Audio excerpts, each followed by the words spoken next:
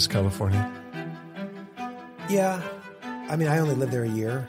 My wife grew up there. Um, we do not. I mean, we don't miss the traffic when we go back. Like, why do people endure this? Yeah, It's miserable. yeah. I don't, No, we love it. Um, Amy's parents uh, live kind of near Long Beach, and and so we we stay with them. Although this is kind of weird. Uh, we also we have there's six people in, in my family, my wife and four kids, and I. We all sleep in her bedroom that she grew up in as a kid. So it's a queen size bed in the middle, two stacked cots on either side. I mean, it's a lot of that's six people in one little bedroom, and and half of them are teenagers. wow, It's not nobody loves it. that is awkward. Nobody loves it. I know. yes. Yeah. See, that's weird. So, but, but that's just what, that's the price we pay. And then we, you wake up and Wake up and go do whatever, go enjoy to the beach or whatever. the beach. Yeah. So, yeah, nobody, nobody likes that. Okay, we're back with the tenth and final episode with Bill Boekestein uh, here on the All of Life for God podcast. Thank you guys, those that have stuck with us. Really grateful for that, and we hope that all of the sessions have been really beneficial. Even Jonathan Cruse's, and uh, You guys just know each other I pretty knew well. I'd get you with that one. yeah. Um, no, his were great. Actually, we haven't even filmed those yet. They will be. They will be great. Yeah. Um, and the reason that we're talking to Bill and we talked to Jonathan and Andrew, in case you're just joining us, is because of their new book, Glorifying and Enjoying God. That's correct. I got it right. you got it right. Gosh, Very well done. What a title, man! It's great. Glorifying and enjoying God. But isn't I get it wrong because the Catechism says glorifying God and enjoying Him forever. Correct. See, that's why. Yeah. So But this that would have been a mouthful. I mean, that's, that's too much for a book. that title. would have been too much. Yeah. Yeah. Yeah. That's why I said glorifying God would have been a good one, but Yeah. too late for that. Yeah. Anyway, thank you guys for tuning in um, here on the All of Life for God podcast. If you haven't seen it, please go over to our other podcast, The Modern Puritan, where we have a group podcast interview with Bill and Jonathan Cruse and Andrew Miller all together at one time, crammed in this little studio. Um, and that one was really fun. I remember we talked a lot about catechisms and Yeah. The Yeah, of the history of overall catechism. idea. That's right. Why are we doing the What is a catechism? catechism? Why do we do it? Yeah. Why was it important for you three, who are all ministers or pastors, to um, to engage in this project? We talked about the difference, some of the differences between the Heidelberg Catechism, Westminster Shorter. Um, we didn't really talk about the about Luther's No. Catechism, But it is, briefly. we do reference it here and there Yeah. in the book. Yeah. So, Yeah. Um, but today, what we're talking about is the 10th and final topic, which is eternal life and judgment. So, and as we've done in uh, throughout this whole series, we're talking about what is it? Like, what is Westminster Shorter Catechism saying about it? What is the topic in general? And then uh, the follow on question, of course, is well, why does it matter? yeah. So, what does Westminster say about eternal life and judgment? And and as I've said with asked in the other times, is does it take up a significant portion of the Catechism? Well, it's it's actually so. I mentioned in a previous podcast that the outline of the catechism is two parts. First, what do I need to believe about God, and what is my duty to God? Hmm. This question about eternal life and judgment is the is the conclusion of that first part. So it's the it's it's fittingly the end of what I need to believe about God, and so um, the, the, the question is broken up into two parts. First of all, what benefits do believers receive from Christ at death? And then, second, what benefit do believers receive from Christ at his resurrection? And so, you know, it's not they're not they're not any longer answers than the rest of it. But what what we're closing out in this first section is the benefits that Christ has secured for us. And so we talk about uh, justification and sanctification um, now glorification. So, what does it mean? The, the the conclusion of the salvation that Christ has won for us, and which the Spirit has applied to us.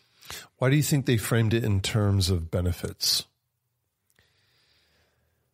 Well, that's a great question. I, I don't I don't know the technical answer to that question, but I think that you know is is Christ's death and resurrection advantageous to us? Mm-hmm. I mean, is there an advantage to it? Mm-hmm. And because I think the world would say, well, you know, take or leave, Jesus, take him or leave him, right? It's not not so big of a deal, but but and I and so what the, the Catechism does is it puts it on the positive, right? Of course, there is a reference here, uh, you know, if you're without Christ, you lack all these benefits. But with Christ, this is this is what this is God's promise to mm. you. Mm. And so, rather than you know the, than a truncated gospel that we sometimes hear today, which is you know believe in Jesus and you'll have eternal life, which which is of course true. The Catechism says, let's flesh that out. What is mm. eternal life? What is salvation? What is it? You know, is it is it just the avoidance of hell, which I think in some ways is how it's framed in contemporary terms. No, it's much more than that. It's the whole package of everything that God wants for his people. It's a restoration of what was lost in paradise when Adam and Eve sinned, and then some. You know, it's, mm. it's, putting us not back into that position, but into an improved position in glorification. So benefits. Um, I mean, we think in terms of benefits you know, in, in sort of earthly terms, what are the advantages of this or that? So I think it's yeah, of uh, what do you gain from Christ, and, mm-hmm. and it's important because Jesus' call to follow Him is actually to lose your life, right? You, you, he, the call of the gospel, the call of discipleship, is to lose your life for my sake, and then you'll find it. So if if God is calling us to lose our life, to say no to all of the things that the world and the flesh and the devil entice us to, what is the what do we gain? Right? What is the benefit? Mm. And Jesus says, well, you you gain your life that way.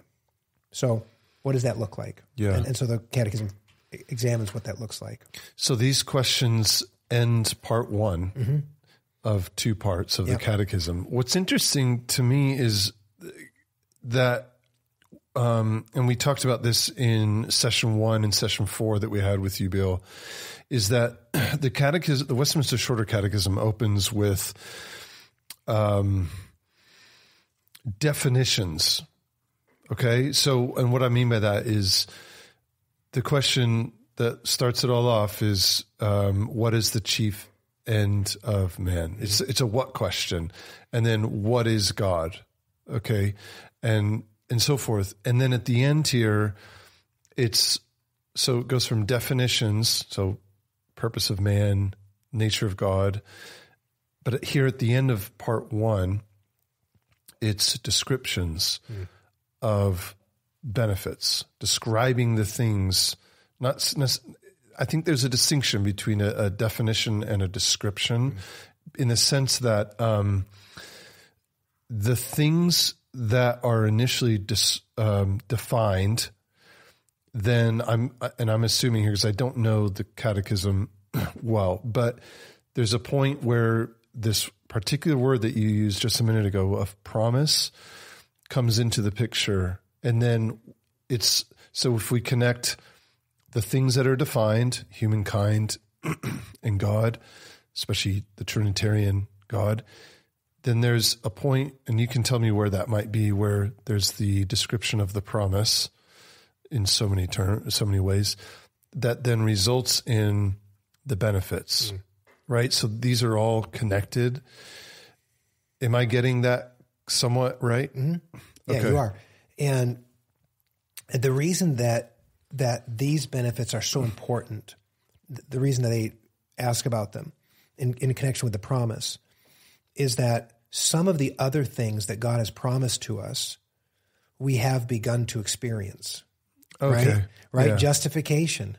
That's we've experienced that, right? Um, when you know when when the Spirit moves in us and we embrace Christ uh, and the promise of the gospel, um, that faith is counted as righteousness, and and we're justified forever in the sight of God, counted righteous, as righteous as Jesus, as mm-hmm. righteous as if we had done all the things that Jesus has done himself. That's mm-hmm. how Heidelberg puts it. Mm-hmm. Um, we've we've experienced, you know, the the uh, the calling of the Spirit. We've ex- we're beginning to experience something of sanctification, being remade in the image of of Christ. So we're learning to say no to sin and say yes to righteousness. Mm-hmm. There's a transformation that's happening in us. We've received the Spirit. We've received the. Sp- That's exactly right. We've received the Spirit.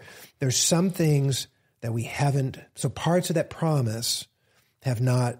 Um, we haven't experienced yet, Mm-hmm. right? And so that's where Paul brings in the element of hope, and he says Yes. hope is something that you do not yet. The, the thing that you're hoping for, you do not yet possess. If you Mm-hmm. possess it, it's not hope anymore. It's realization. Mm-hmm. And so we have to know what it is that that we're hoping for that God has promised we'll experience, but we haven't experienced yet.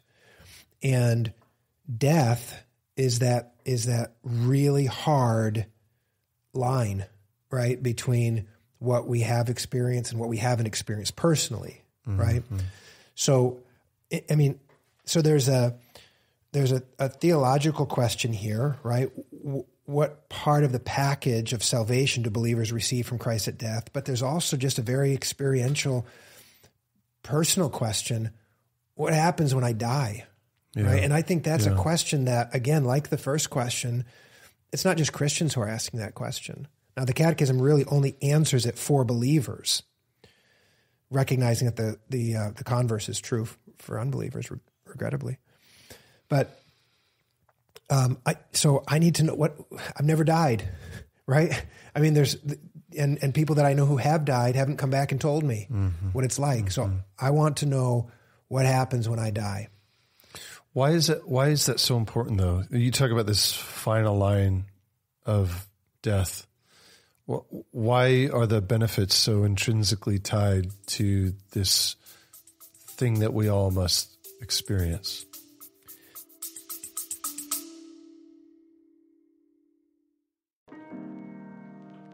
What is the Christian parent's greatest responsibility? To teach their children to trust the one true living God. Enrich your family devotions from the Family Worship Bible Guide. This precious book offers rich devotional thoughts for children of all ages on every chapter in the Bible.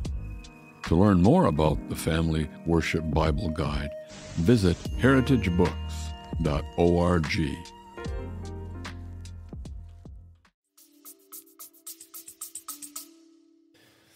Yeah. Well, so because because death is at the at the one on the one hand it is the personal experience of of our connectedness to Adam and the curse that God gave to Adam or promised before Adam even sinned. The day you eat this fruit, you'll die. So he promised death. So we do have to experience that, mm. not as a not as not as a curse in its mm-hmm. sen- in, in in a technical sense, but as a result of the curse. So Yeah. we have to experience that. Um, but so I, I but I want to know what that means for me, right? Does does dying mean that God hates me? You know that Right. is it. You know, can I can I die happily? You know, knowing what's right around the. You know, like when you were about to do a scary thing, can you do that happily? Right? Yeah. I mean, Yeah. I don't know. I've never, you were in the military. Yeah. Uh, I've never been in the military, but I suppose if you if you're called to go into a scary place, a combat situation, can you do that happily? I mean, it's kind of Mm-hmm. there's, it's intimidating, right? And so, death is intimidating to us. Um, how, Yeah. how how do I feel about it? Yeah. Right? How Yeah. you know what's what what does this mean for me? I'm I'm focusing on death because we we are talking about eternal life and judgment, and which are things that you, as a human, only experience after death. Of course, the disclaimer: there are some who will still be alive when Christ returns, but for the majority of humanity, um, the it's just interesting to me, and I've never thought about it like this until now, but. Um, there there's so many things in life that are challenging that we that we look at those things and we think that's really hard but it's going to be beneficial. And at at the end of it or on the other side of it I'm going to derive benefits. Mm. Whether it's the crazy people who go do cold plunges or the guys who go to Navy SEAL mm. buds training or people who want to do like ultra marathons or even on a lesser scale, right? Just going through something difficult. I think even going through trauma that isn't, you know, self prescribed, it just happens to you or to your loved ones. But on the other end of that, there's this expectation that, well, I think for a lot of us, we like to be optimistic and think, well, I'm going to be a better person at the end of that once I get through that experience. With death, though, it's different, it seems, for the majority of people. It's almost as though, well, there's, a, I guess there's a few different ways people come at it. It's, I don't think about it ever, or I think about it on occasion, but I'm trying to be really healthy, nutritious in the mm-hmm. meantime, and just that's in the future. Or there's those who perhaps maybe obsess over it.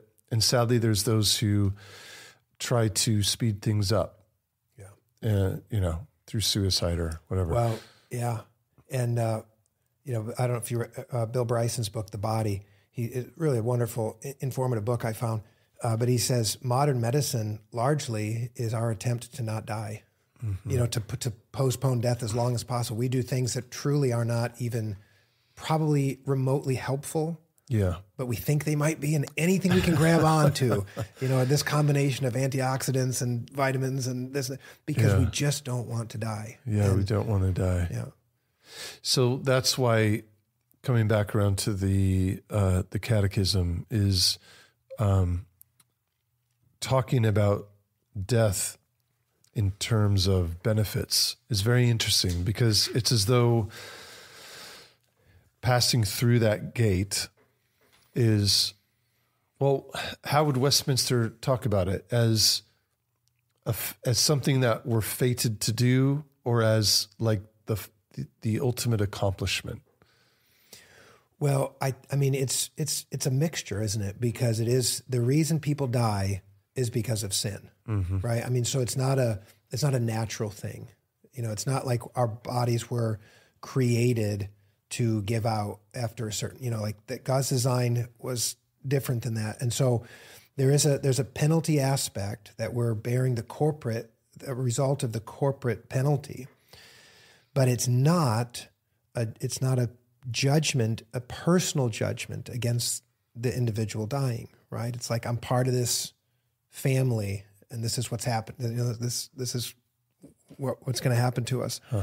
But s- so so it's both. I mean, so it, that's I think partly why it's it's scary, not just because it's unknown, but because it's not connected to a good. It's not a, you know, it's not like you know the end of the ride and you get off the ride and you're done, and it's it's something negative, right? You know, and that's why the Bible talks about humanity being held sort of hostage it, to the fear of death because it's unknown and because it's unnatural hmm. and it's connected to the holiness of God and the wrath of God against sin. And yet, and that's and I think that's why it's so important that the catechism says, what benefits does the believer receive at death? You know, so it's framing it in this is this is the conclusion of your uh, of your earthly journey, and it's it's a turning point in which you're going to finally experience all that God has promised. And so you can't, and, and you, like you said, typically you don't get all that God has promised apart from that. So you do have to go through this. I mean, it's like, you know, in, in, in Bunyan's uh, classic Pilgrim's Progress, it's that, it's that river that separates the pilgrims from the celestial city to which they've been journeying the whole time. I mean, that's what they've been going for. And so to get there though, you have to go through death. And so it's scary, but of course you you you you want to get there, you know. And so and that's why there's this mixture, isn't there, even in in uh in like the apostle Paul wrestling with, you know, is it I'd love I'd love to be absent from this body, to be present with the Lord, to be done with sin, to be done with all this frustration. To, I want to see Jesus, like we talked about in the previous session. But it's it's a hard thing. yeah and it, death oftentimes is painful and Yep. Yep. and associated with destruction of something beautiful. Yeah. Like Yeah, it's a, it's called a tent that's being destroyed yeah, in in uh, Second Corinthians five. yeah. Although I have talked to uh, believers and uh, even had the thought myself sometimes of, wouldn't it be nice to be dead? Meaning in the sense of at rest, mm-hmm. like permanently at rest, like Paul talk in in the in the Pauline Yeah, sense, yeah. not in like the, you know, I hate my life. Yeah, yeah. I- No, I know. I talk about it a lot actually. So I totally sympathize with you. In fact, my kids say, "Dad, you you talk about dying too often." Really? I do. You know, I say, "Look, I mean, I'm 40 40 Come on, 45, yeah, 44. I don't remember 44, 45. yeah. So you're, I'm, half, I'm you're halfway, done. there, You're right. halfway that was my point. Halfway done. I'm not old enough to not remember my age. So halfway done, and uh, and and it's I'm okay with that. You know, it's Mm. it's uh, I wouldn't want to I wouldn't want to go back to 17 and start over, no, not knowing that you now you got to go that much further again. yeah, And you know, if, so yeah, I think it's I think it's good. I mean, the Old Testament saints they talked about dying. You know, Joseph gathers his his sons, Jacob gathers his sons, um, gives instructions, gives blessings, en- embraced it. You know, I think that's really important. So I think we should talk about it. We should think about it. yeah, Um, it is it is inevitable. Yeah. You know, unless you know unless Christ comes first. yeah. We've I've been talking to my kids a lot about death recently because we had a had a chipmunk infestation, and sadly I've had to use lethal traps on them. I didn't think we were going to talk about this in the recording. It's relevant. okay, tread lightly. Be careful. but um, um, so my it's been a good teaching. I, I'm in all seriousness, it's been a good teaching lesson for them because chipmunks are honestly quite adorable creatures, but they do very very destructive things, and especially in and around foundations of homes and whatnot. And when you get an infestation, we're talking about at least a dozen or more. Yeah, And it's not not pleasant. it's not pleasant anymore. You know, they're not so cute. And so for the girls, it's like the girls in particular, but also for my son, who's the eldest, um, I've had to, through very like visual means, be like, well, you've seen the live chipmunks. Now here's a dead one, Yeah. you know? But I have to confess, like looking at one of these animals dead, there is a sense of like repose. Hmm. The animal, and I, I look at that creature and I think, I'm so sorry that I had to terminate your life, but you don't have to suffer through another Michigan winter. Seriously, they're rough here. There's no more daily, like, they don't have, they can't go to a store. They mm-hmm. can't just buy food. Like, every day is survival for them. Mm. And you look at like the animal just laying there now and you're like, like it's at peace. And I, I have no idea wh- where the animal goes afterwards. You know, um, I would hope like in Romans eight, maybe they're part of the new creation. I, I don't know. Surely, I think yes, yes, Maybe. Uh, Yeah. I mean, not in the sense of you know, individ, you know, like this particular chipmunk's going. You don't think to, Ted and Johnny Yeah, and the girls' I mean, surely there are animals in the new creation. But I don't think it's right for us to think, you know, Like that I'm they have souls or anything that's no, gonna I mean because be- you know at least in the in Ecclesiastes it talks about the soul of a person when they die go to back to the Lord. Yeah. soul of an animal go back to the ground. But Yeah. but yeah. yeah. Anyway, I bring that There's analogy that up. image of rest though. That, that it's that, that image of rest. Yeah. And sometimes that's that's been even helpful for me as an adult is thinking because sometimes I do think about um, like my dad. You know, he's getting older, and um, I just think about when I get to the age where I start losing certain just capacities as a human. You know, just either mentally or physically or whatever. Um, I I kind of cringe at that. Like, oh, I don't want to get old. I don't want to get old, and yet there's the positive sense of well actually i'm every day getting closer to that threshold and uh, let's say i make it into my 80s or 90s i'm then even more close to that threshold of well crossing the river and and being at peace you know and not only at peace in the sense of where some secular thinkers might talk about, well, you know, I just think we just stop existing, you mm-hmm. know, and life is over. Yeah. But in this, in a Christian biblical sense of like, Yeah. well, now I'm in the presence of my Father. Right. No, and you're right. And and so I think that I was a little nervous about where your chipmunk illustration was going to lead us, but I think you're exactly right in the sense that um, life is hard. Not not just for the chipmunk, but for people. I mean, it's you know Jesus says in this in this world you will have many troubles, problems. I mean, it's it's hard to it's it's hard to get up sometimes in the morning. It's hard to so that we are we're wasting away. I mean, literally, we're all in the process of dying, which is a, a very strange Every day. every day yeah. and and so it's it's a it is hard to be alive in a fallen world Yeah. you know it's a and so we are we're actually we're actually aching paul says in 2 corinthians 5 not to be unclothed right not not to die that's not really the thing but to be reclothed and to get there we have to go through death. So we're, we're not really we're not really yearning to die. We're yearning for what death yields for the believer which is why i think the idea of benefit is so helpful as, as the catechism puts it. What are the benefits? Um, what what a, so you know it's, it's you talked earlier about some of the hard things that we endure on purpose or or not on purpose and the benefits that can come from them. Uh, hebrews 12 the writer talks about discipline not being pleasant at the time but mm-hmm. painful. But mm-hmm. afterwards it yields a peaceable fruit of righteousness Yeah. for those who've been trained by it. And so i think we've got there's a death is a little bit of i think it's part of that that disciplining you know and, and but there's fruit on the other mm-hmm. side of it. And so i think that's you know when when when you're dying or you're walking alongside of another believer who's dying it's helpful to have this catalog that the that the uh, catechism provides to say look i mean it almost puts it in the form of a checklist. Like here are here's this catalog of benefits. This is what you're you know because i think most christians wouldn't you know we, we use we use uh, phrases like going to a better place or you know they're no longer hurting anymore which is all true. But that's about the extent of what we usually know to say. But i think the catechism mentions like seven benefits. What are some of those?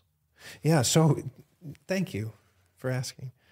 Um, so the, the the first one it says the the souls of believers are at their death made perfect in holiness, and an unbeliever doesn't doesn't so much care about holiness or the struggle to achieve you know to experience holiness, but a Christian does, and a Christian finds it very frustrating to not to not be holy, right? I mean, if we're serious about walking with the Lord, we're we're irritated by our failures. Well, at death, we're instantly made perfect.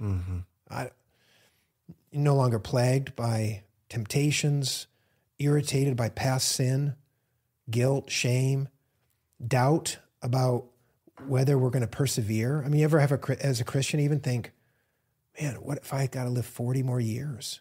Can I persevere for 40 more years? Wow. Yeah. You know? Yeah. But you don't even have to think about that anymore. So that's so number one, uh, at their death made perfect in holiness, and do immediately pass into glory. So there's a there's a there's a an entering into the presence of God.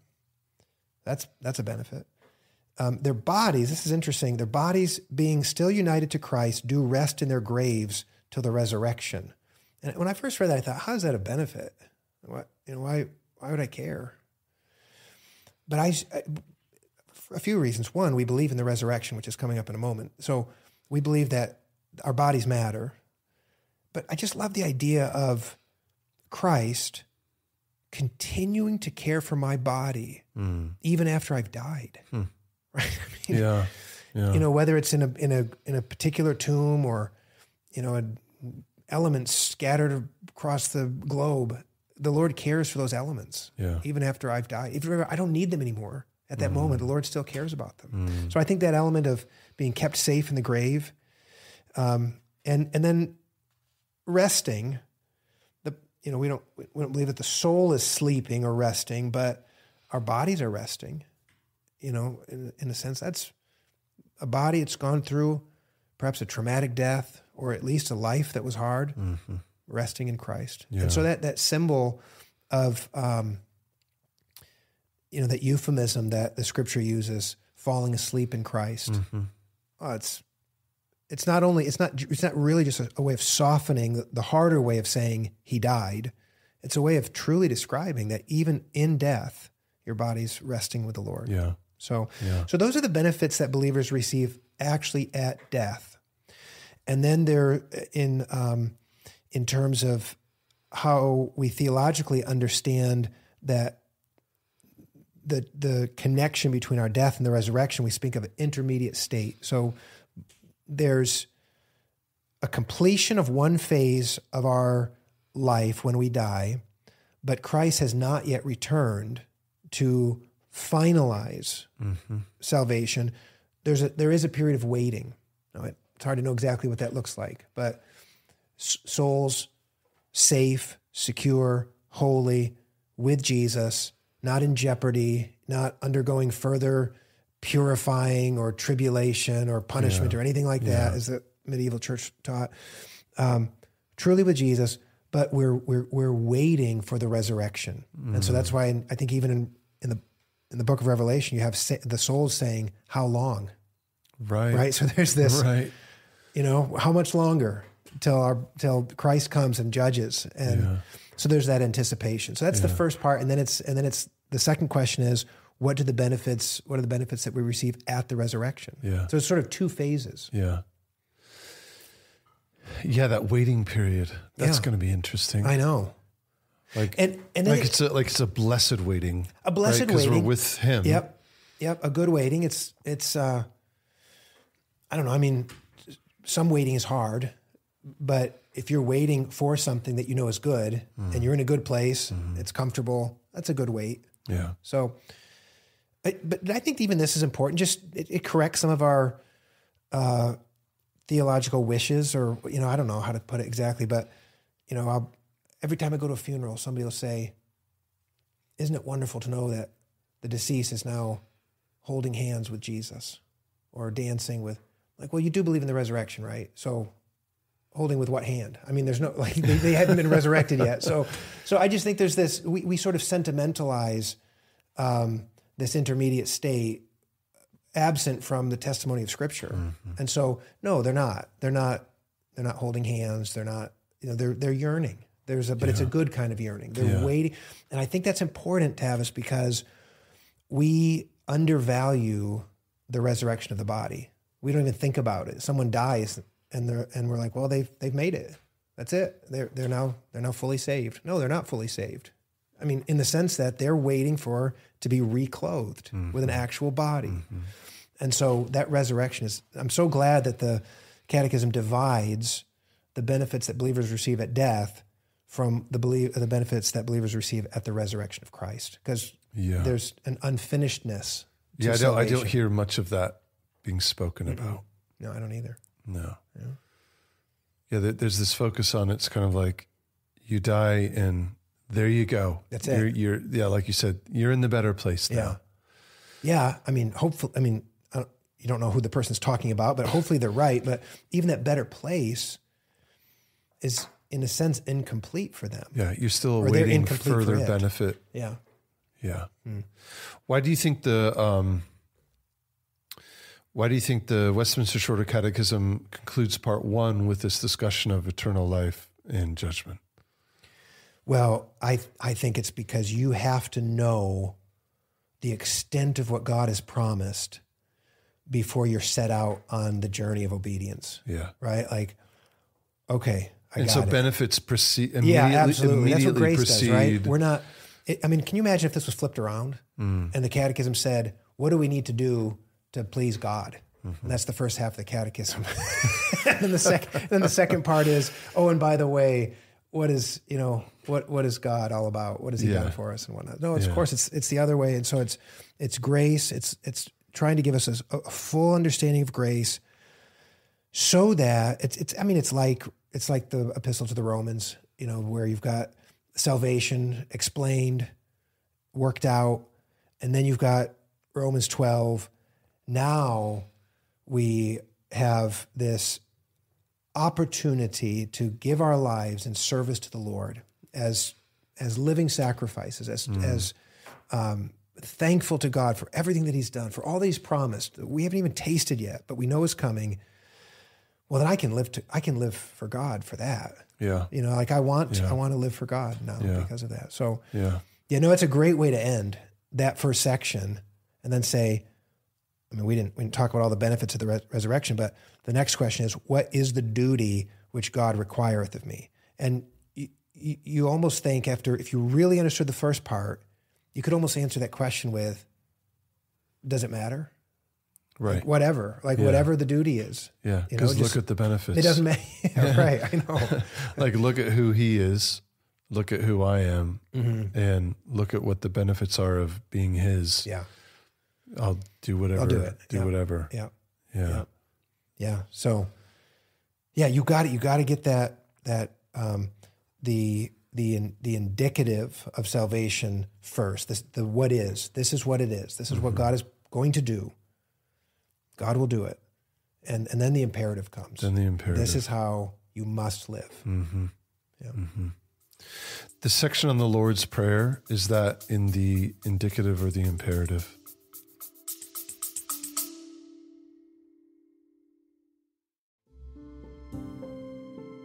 Would you like to deepen your understanding of Reformed theology? Check out Reformed Systematic Theology, Volume 4 Church and Last Things by Dr. Joel Beeke and Paul Smalley to explore key scripture topics from biblical, doctrinal, experiential, and practical perspectives.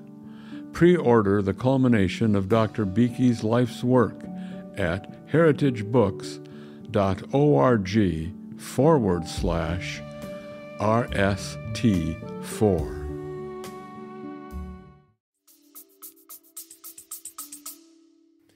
I mean, it's in the second section, so it's in the what does God require Uh-huh. of man. But it's you know That's interesting. so it is, but it's it's us, it's us um, having to pray. Like we have to pray. It is a responsibility to pray, right? This is how you shall pray. Jesus says, "This is how you should pray." Um, but even that, it's like, how bad? Like, is it a bad chore? I mean, how bad is like, is it, you know, you're communicating with God. You know, so it's not. So it is in Yeah. the it's in the duty section, but it's not like a bad chore. No, and I, I ask that because, of course, the the Lord's Prayer does include this eschatological language, "Thy kingdom come." Yeah.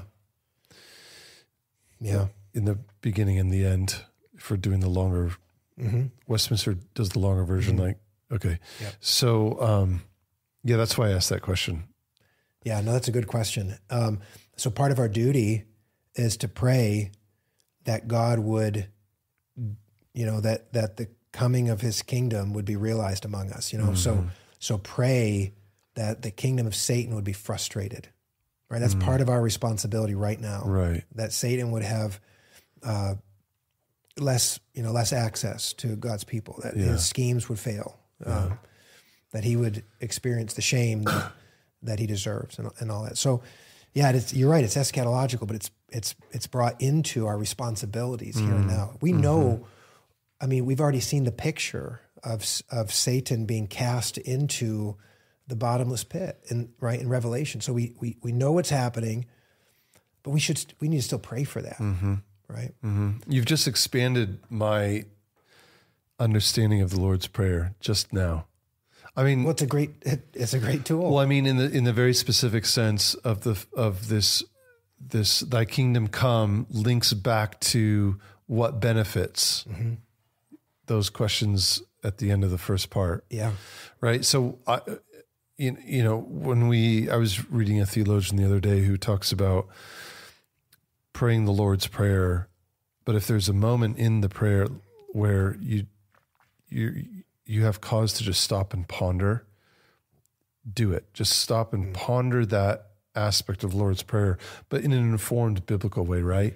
So the fact that I can go and pray the Lord's Prayer later today and at the parts talking about the kingdom think, yes, so that I might receive those benefits that you have promised. yeah, yeah. Sanctification. Yeah. you know that's part of like Complete Lord, sanctification. help me complete to live. sanctification. Yeah. Well, yes, and along the way, help me to live like a citizen of your kingdom. Mm. like help me mm. to begin Even to now. even now. Mm. Yeah.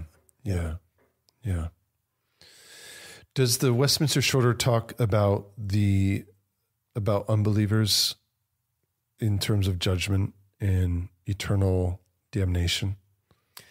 Um, so I, I mean, the emphasis here is on on the benefits that believers receive, Okay. and the reason for that is this is this is a it's a it's a it's a catechetical, you know, it's instruction for particularly children in the home of covenant people, and so it's not a it's not a it's not expressing a, a, a presumption, you know, a careless presumption that we're we're talking to believers, but there is an expectation that as the father and the mother are catechizing their children, um, the expectation is that that you you should believe, and we're we're urging you to believe.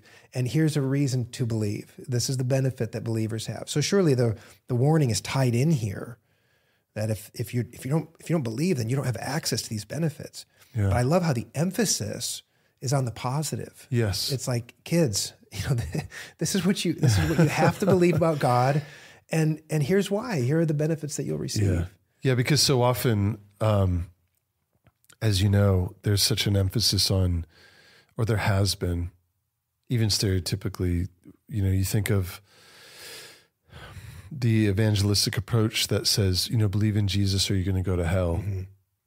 But you've said there's seven benefits that are outlined in Yeah, the West. see, yeah. Yeah. Yeah.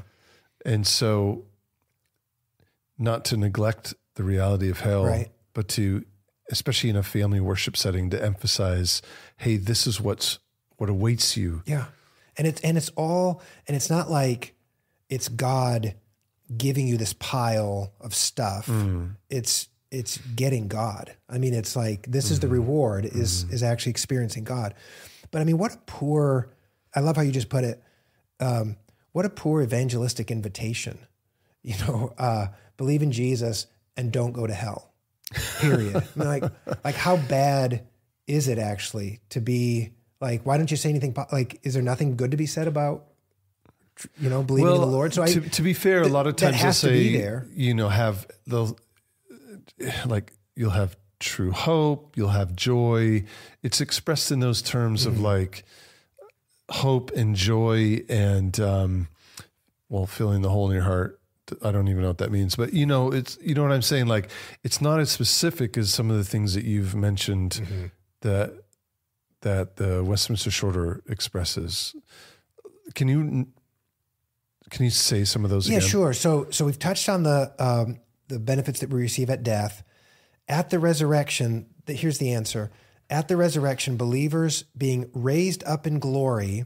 So that's a very very short way of describing our resurrection, being raised up in glory. So that's like it's like footnoting to 1 Corinthians 15. So it's only a few words, but understand, you know, we're sown corruptible, raised incorruptible, all of that. So raised up in glory, which is, I mean, now that I think about it, it's a wonderful, um, going back to the first question and answer that we're to glorify God, that, that, that idea of glory deserve, that mm-hmm. God deserves, we'll, we'll experience something of that mm-hmm. ourselves. Mm-hmm. And so resurrection, then shall be openly acknowledged and acquitted in the day of judgment. So here, I love how I think most people would, um, even Christians, would think about the day of judgment in kind of a negative way, or at least in an ominous way. You know, judgment. The judgment sounds negative to almost everybody today. But this is actually all, it's set up as an acquittal. Like, you know, it's it's not see. like there's suspense Yeah. For the believer. Mm-hmm. You're you're getting your day in court, so to speak, for the purpose of acquittal. Mm-hmm.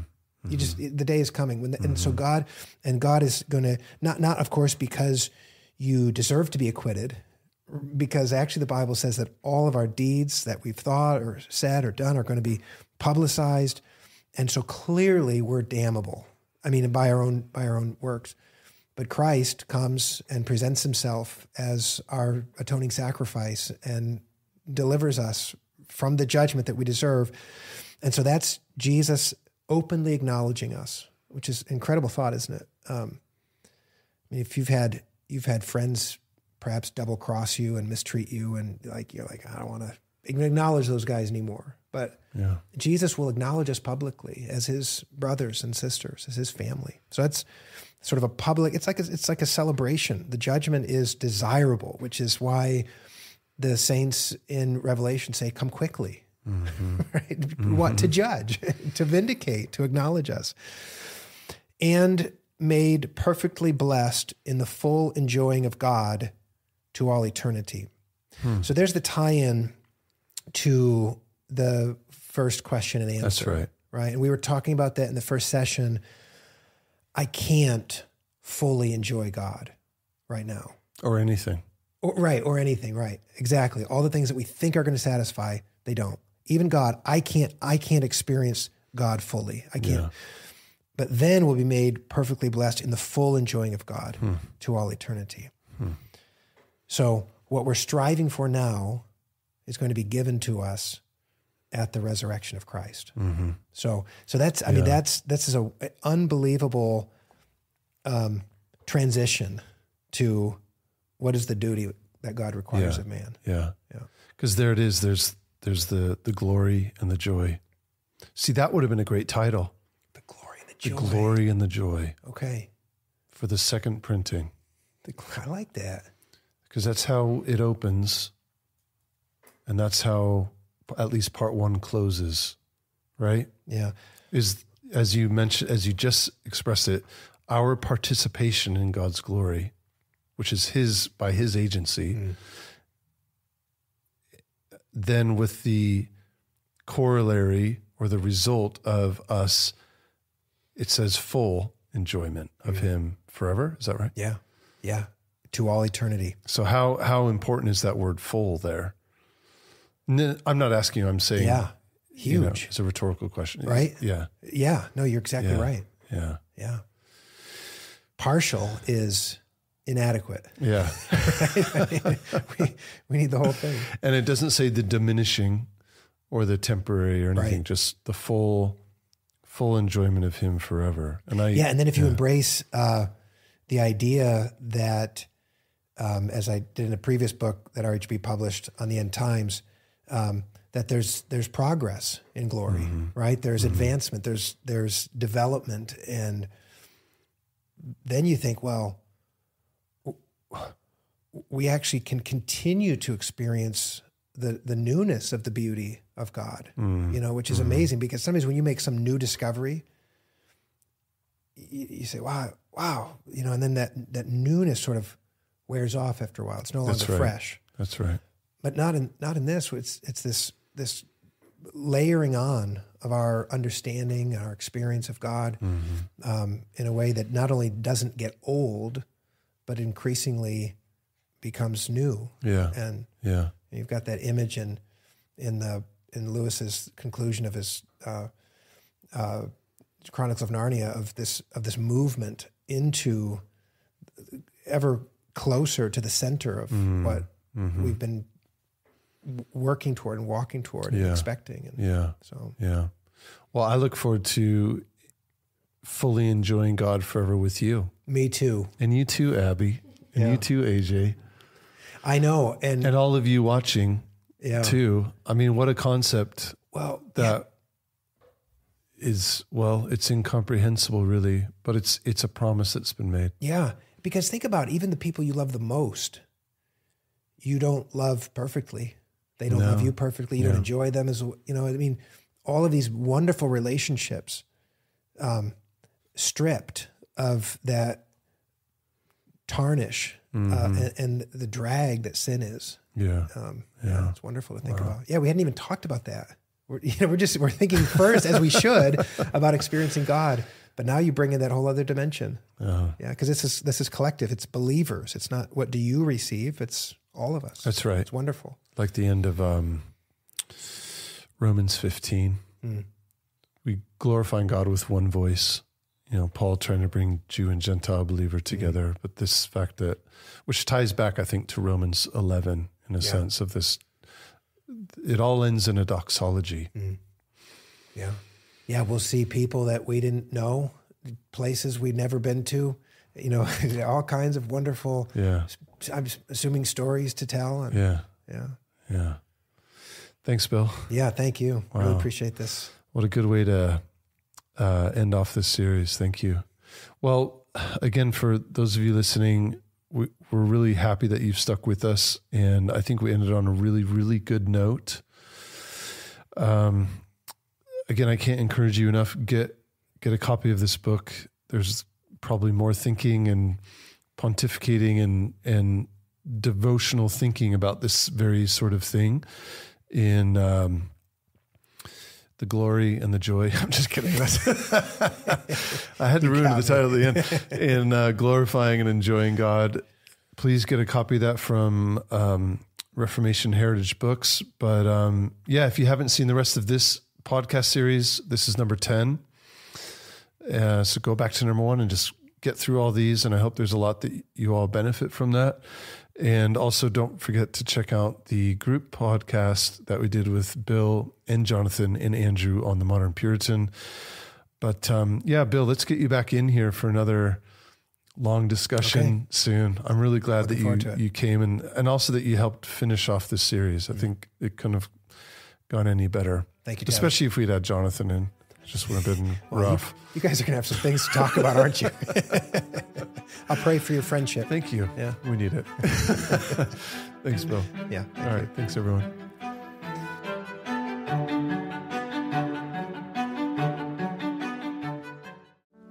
Thank you for listening to All of Life for God by Reformation Heritage Books. If you have enjoyed this episode and would like to hear more, please consider subscribing and sharing with a friend. Reformation Heritage Books is a nonprofit ministry aiming to strengthen the church through Reformed, Puritan, and experiential literature. To learn more about this ministry and how to support us, please visit rhb.org.